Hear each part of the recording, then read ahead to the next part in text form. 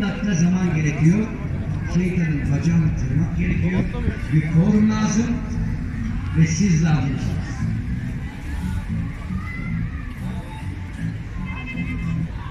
...18 yaşın üstünde misiniz? Ha, tamam. 18 yaşın üstünde olmak lazım. Şimdi onu içeride doktora sormanız lazım. Girin doktora sorun. 65 yaşın altındaki A, hanımefendi